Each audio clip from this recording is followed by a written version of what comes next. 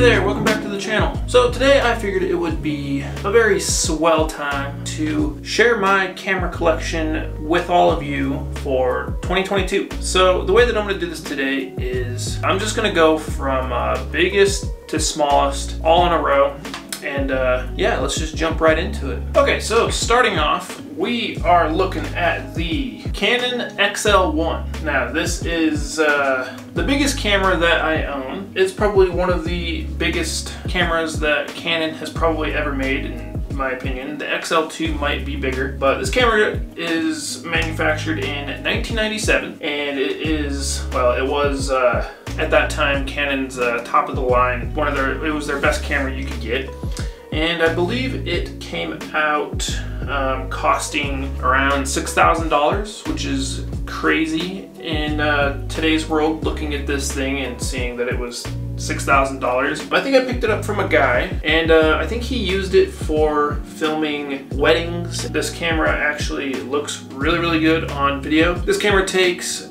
mini DV tapes and the zoom is a 16 times zoom on it and you can actually take the lens off. So it's kind of like a modern DSLR. And this camcorder does not have a screen on it. You just have a viewfinder. You can hold it like this in film or you can unfold this and you can put it on your shoulder and make it look like you're on a uh, you're a newscast filmer. Next up, I have well, currently as of recording this video, I have two Canon GL1s. Now, I do believe that these cameras were manufactured in the year 2000. Um, so right at the turn of the old century, these cameras are actually really cool. I have one of them for sale on my eBay page if you want to take a peek at that, if they haven't already been sold by the time this video has been uh, uploaded. They have a 58 millimeter um, lens thread on them.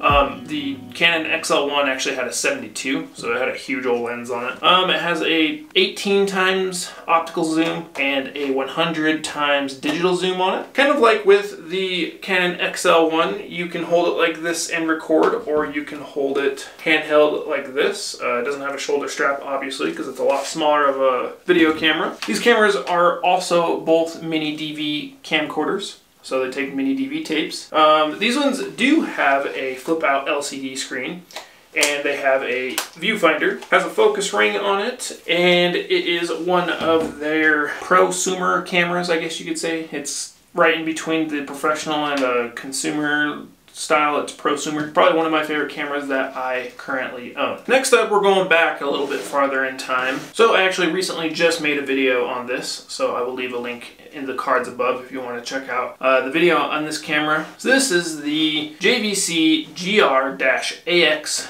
46 or as I call it, the Grex 46. Now, this camcorder is from 1997. It takes VHS-C tapes. This one has a 46 millimeter lens thread on it. It has a mono microphone, a lens hood, um, this one does not have a flip out LCD and pull the viewfinder out and film with it that way. Not really much to talk about on this. Still a very fun camera to film with and make videos with. Oh yeah, and I forgot to mention that it has a colored viewfinder on it. Okay, so it looks like I am holding pretty much the exact same camera, and I pretty much am holding the exact same camera.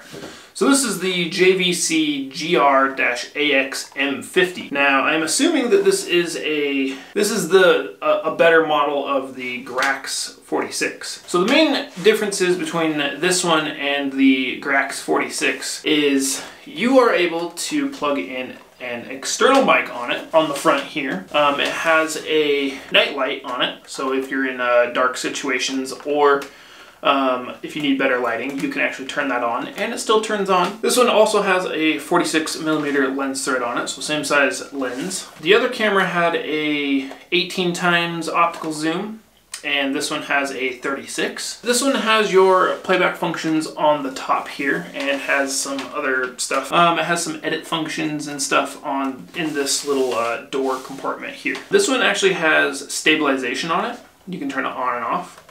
And this one actually has a flip out LCD screen with a speaker so you can hear back your uh, audio on the uh, the playback. This one also takes VHS C tapes. Really, the uh, the quality of the the video really isn't any different than the other camcorder that I just talked about. And they both have uh, mono audio. It was one of the very first ones that I actually ever picked up at a thrift store. I know it's not really worth anything, but it's just, uh, it's a little nostalgic to me. All right, so now we are jumping way into the future. We are talking about the Canon SL3. So this is actually my newest camera that I own. I don't really exactly remember when this came out. I want to say it was either 2019 or 2020. Um, so this is uh, Canon's smallest DSLR camera that they produce at the moment, I believe. Most of their DSLRs come with a 18 to 55 kit lens. What's really cool about it is it has uh, Wi-Fi and Bluetooth built into it, so kind of like how GoPros work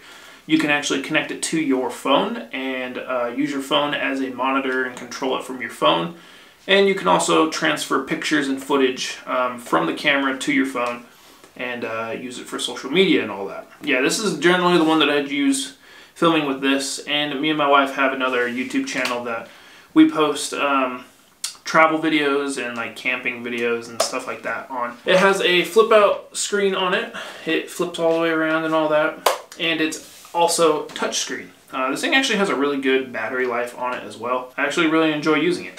Alright, so I'm now filming on the Canon SL3. Uh, reason why I switched is because uh, I was filming with this camera, and so I had to showcase this one as well.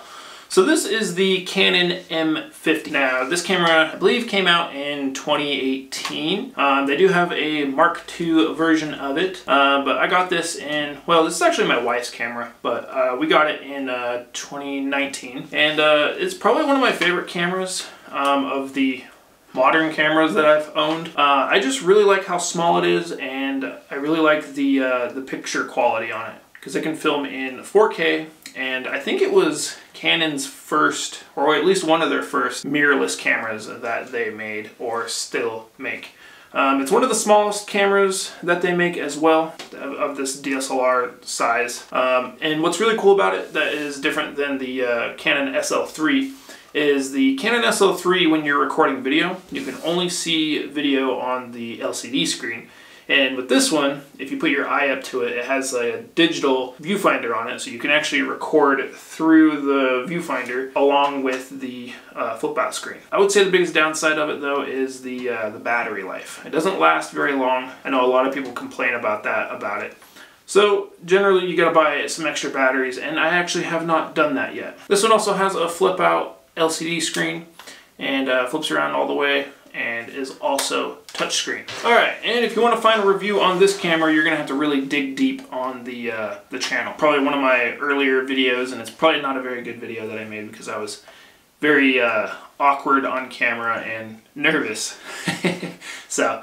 Uh, this is, I don't even remember what this is. I don't use this camera very often. This is the Panasonic VDR-D230. This camera is from 2001 and it takes a, uh, a mini DVD for the uh, memory card, SD card, tape, uh, the, the memory device. If anybody remembers playing GameCube, um, it's pretty much the exact same size disc. A lot of these cameras are really weird looking in my opinion. My wife's uncle died um, in 2014 due to uh, cystic fibrosis and this was his uh, video camera that he used uh, to go out on uh, vacations and all that with. His uh, his wife is actually uh, she she gave this to me because she knew that I was into uh, old video cameras and stuff. I don't ever plan to sell this. It's in really good shape. He took really good care of it. He's got a lot of accessories with it. So it has a 32 optical zoom and the lens thread size is a 37. It does have a flip out LCD screen, but this thing actually has a pretty big menu on it if I remember right. And it actually has a little viewfinder that pulls out right here as well. And it has a cold shoe, but because of the CD, CD-ROM, CD, CD player, um, it's really hard to get anything to uh, mount on it without hitting the side of the CD player. It does take pictures, um, it's not the best pictures, and it doesn't actually have um, a big memory on it for, uh, for video. Now, I actually have not made a video on this camera yet. Um, I'm waiting for the charger to come in for it. So I bought this off of Mercari. The person that sold it was saying that it works great and it's in new condition. All the pictures and stuff showed like the screen and everything that was, uh, it was on and all that. Well, I buy it and they send it to me and they decided they wanted to keep the, uh, the charger for themselves. So I messaged them and they said that they'll just send out the charger if I need it. And I said, well, yeah, I don't really want to buy a new charger if I don't have to. So I'm waiting, waiting for that to come in. And this is the JVC GR-DA30U. And this camera is from 2007, I believe. Kind of towards the end of the era of mini DV tape camcorders. And yes, this does take a mini DV tape and What's really, really unique about it is it has a screen on the back of it. And it slides up and it slides down. The battery is actually where generally the, uh, the screens are. And so that's actually right there. It has a 30 times optical zoom and I believe it has a 27 millimeter lens threads on it. And it has a 800 times digital zoom. That's pretty much all I can really tell you for it right now. Like I said, I don't have a way to charge it yet, and I'm waiting for the charger. Look out for the review in the near future for this. So I actually forgot about this because it was stored away in my uh, camera backpack. But I also have a DJI Mavic Mini. This is my second one I have had of this drone. Uh, my first one I wrecked and it got water damage in the snow. Long story short, I was flying it down in a cave. A huge uh, snow owl came out of the out of the rocks in the cave and uh, performed some weird bad juju towards it. And uh, this thing just started to fly towards the rocks uncontrollably and crashed into the rocks and landed in the snow and had to crawl down into the cave and uh, rescue the drone. And by that time, it already had water damage from sitting in the snow for so long. So this is my second one. These things, if you've never had a drone that can record video, they're the funnest things to fly. Um, I'm not a professional at flying these by any means, but if you want to get like really fun cinematic shots and stuff, uh, this is a great camera to uh, to do that with. And I say camera because it takes videos and pictures. It's a flying camera, a fun budget drone, and the battery lasts like a half an hour on it. I guess for these newer camcorders. Uh, I'll leave some Amazon links if you want to snag one for yourself, like the Canon M50, Canon SL3, and the uh, DJI Mavic Mini. And I have one more that I will be talking about. The smallest camera that I own is the GoPro Hero 9. Now, I'm pretty sure everybody out there has probably at one point tried a GoPro. Pretty much anything before the, uh, the GoPro Hero 7 is hot garbage. But if you get a 7, 8, 9, or a 10,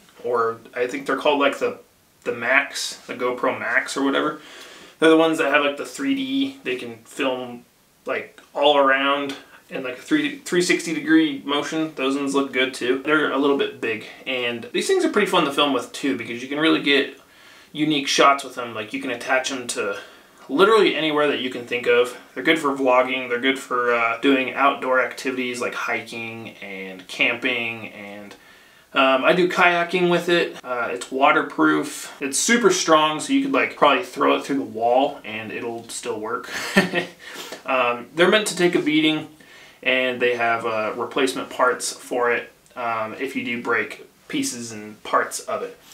And GoPro makes a very wide variety of attachments for you to uh, put it on things and yourself. And uh, I'll leave a link in the description if you want to grab yourself a GoPro Hero 9. So that's pretty much uh, the, the camera collection. I, I could probably rummage through other things that take video. So there's there's quite a bit of them. Um, a couple of them are for sale on my eBay store, so I'll leave a link to my eBay store and you can check out what I have for sale on there. Yeah, let me know what one is your favorite. Do you own any of these cameras or similar versions of any of these cameras? I'd like to know. If you enjoyed this video, make sure you like it. I will see you in the next video.